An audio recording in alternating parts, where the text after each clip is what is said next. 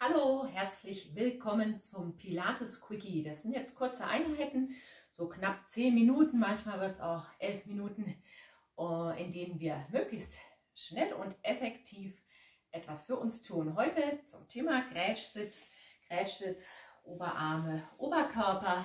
Und wir setzen uns auf die Matte, nehmen erstmal die Füße zusammen. In der Schmetterlingsposition erstmal so ein bisschen Federn ganz weich. Und für das Workout heute, für das, die Übung brauchst du einen Ball, einen weichen Ball, der nicht wegspringt, der sich gut halten lässt, der einfach gut tut. Gut, aus dieser Position gehen wir jetzt in den Grätschsitz.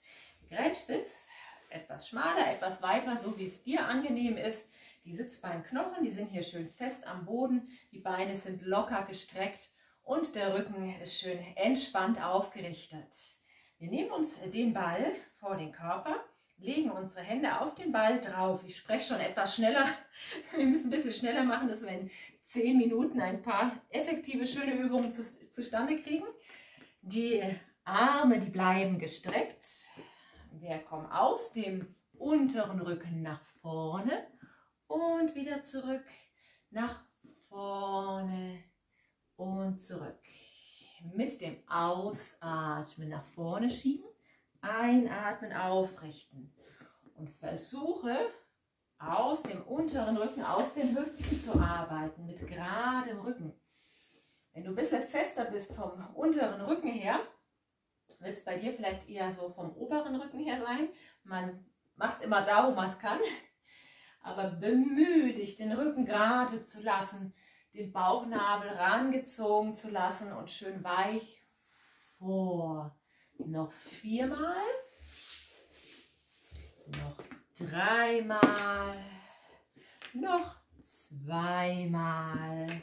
Einmal noch ganz weit nach vorne. Und dann holen wir den Ball zu uns her. Die Beine ein bisschen auslockern. Den Ball, den nehmen wir vor den Körper. Mit den Händen drücken wir in den Ball rein. Die Finger so ein bisschen gespreizt, dass der Ball nicht wegspringt. Die Schultern sind tief, der Rücken ist schön lang, gern auch etwas schmaler in die Grätsche gehen.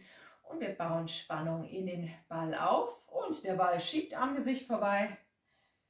Richtung Decke, nach oben. Wir versuchen die Ellbogen möglichst komplett in Streckung zu bringen, dabei leicht den Ball zusammendrücken und wir ziehen den Ball vor den Körper. Wir schieben kraftvoll nach oben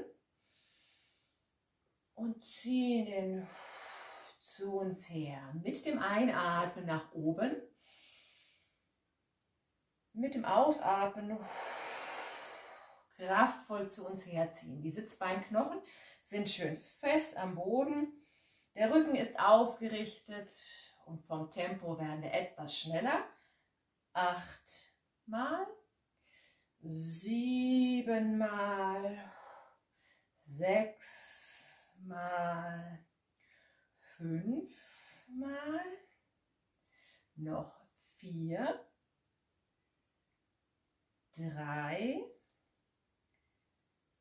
zwei und einmal noch nach oben führen. Wir halten den Ball oben, versuchen die Ellbogen möglichst zu strecken, versuchen das Brustbein rauszuschieben, der Bauchnabel bleibt drangezogen, der Atem fließt und es müsste im oberen Rückenspann an den Oberschenkeln Vorder- und Rückseiten im unteren Rücken. Und dann ziehen wir den Ball vor die Brust. Den Ball legen wir hier am Brustbein an. Es ist wichtig, der Kontakt zum Körper. Die Beine sind locker gestreckt. Wer sehr, sehr weit öffnen kann, geht etwas schmaler zusammen. Der Rücken bleibt gerade und wir drehen uns aus der Körpermitte Richtung einen Fuß, kommen zur Mitte, drehen uns zum anderen Fuß. Mit dem Ausatmen drehen, einatmen zur Mitte kommen, Ausatmen, drehen. Und während wir die Übung machen, haben wir Druck auf den Ball, also den Ball schön zusammendrücken. Der Rücken ist gerade, der Bauchnabel bleibt rangezogen und du merkst sicher beim Drehen, dass du, wenn du dich nach links drehst, etwas mehr Druck unter der rechten Ferse hast. Wenn du dich nach rechts drehst, etwas mehr Druck unter der linken Ferse. Das ist in Ordnung gern den Beckenboden aktivieren. Und noch acht, sieben, sechs, fünf, vier, drei, zwei und einmal noch zur Mitte kommen, den Ball ablegen, gerne die Beine mal auslockern, die Ellbogen sind wieder gestreckt und nochmal schön weich mit dem Ausatmen vor, einatmen zurück und die Ellbogen, die sind gestreckt. Wir versuchen aus dem unteren Rücken zu arbeiten. Komm weich vor. Einen Moment vorne bleiben. Gerne mit den Händen etwas Druck in den Ball geben. Und den Kopf, den lassen wir mal sinken, so tief es geht. Das Federn finde ich sehr angenehm. Du kannst statisch in der Dehnung bleiben oder weich so ein bisschen in die Dehnung federn. Es müsste intensiv an den Innenseiten der Oberschenkel dehnen, an den Rückseiten der Oberschenkel. Vielleicht merkst du eher Dehnung vom Trizeps, Armrückseite, im ganzen Rücken. Hier schön weich. Und dann ziehen wir den Ball nochmal zu uns her, nehmen den Ball zwischen die Unterarme, legen die Hände locker aufeinander und bringen etwas Druck auf den Ball drehe mich kurz zur Seite. Etwas intensiver wird es, wenn die Ellbogen auf Höhe der Schultern sind. Etwas weniger intensiv ist, wenn die Ellbogen auf Brusthöhe sind. Such dir das aus, was für dich gut geht. Der Rücken ist schön gerade, der Bauchnabel ist rangezogen und wir bringen Spannung auf in den Ball. Lösen, Druck aufbauen und lösen. Falls du im Grätschsitz jetzt wirklich massiv Probleme kriegst, sei es vom unteren Rücken oder von der Dehnung, geht auch auf jeden Fall Langsitz oder hier angebeugte Knie. Am entspanntesten für die Aufrichtung ist wahrscheinlich der, Schmetter, äh, der Schneidersitz. Schmetterlingssitz ist auch eine Möglichkeit. Also wie du möchtest. Hier Druck aufbauen und lösen. Druck aufbauen und lösen. Und wir werden vom Tempo jetzt schneller. Druck, Druck, Druck, Druck. Eine sehr intensive, schöne Übung für den oberen Rücken.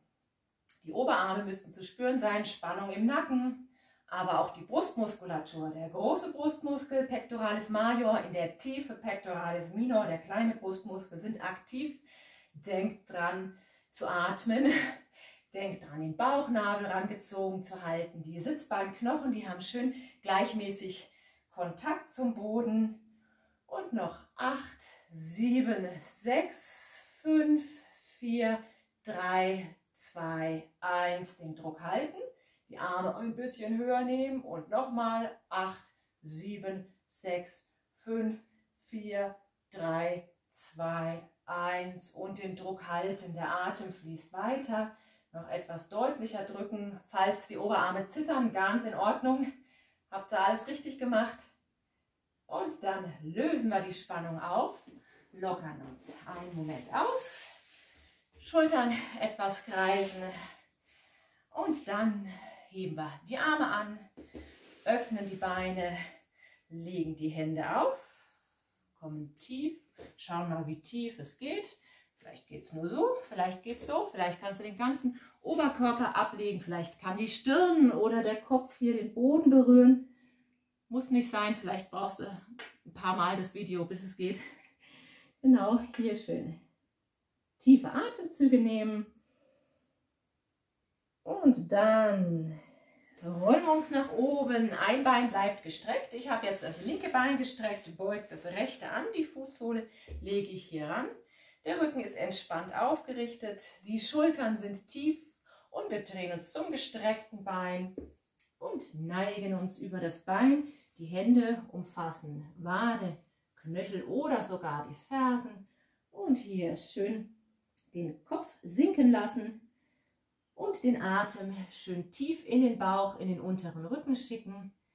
Es müsste eine Spannung, eine Dehnung hier im unteren Rücken geben und zwischen den Rippen. Dann richten wir uns auf, die Arme anheben, das rechte Bein ausklappen, das linke Bein anbeugen und wir neigen uns zum rechten Bein und fassen Wade, Knöchel oder sogar die Fersen und lassen den Kopf sinken, Stirn, Nase Richtung Knie. Und auch hier ein paar tiefe Atemzüge in den Bauch, in den unteren Rücken schicken. Dann schön Dehnung zwischen den Rippen im unteren Rücken und natürlich an der Beinrückseite. Dann lösen wir die Dehnung auf, schütteln die Beine aus. Dann hoffe ich, dir hat Spaß gemacht und dann sehen wir uns beim nächsten Mal. Tschüss, mach's gut.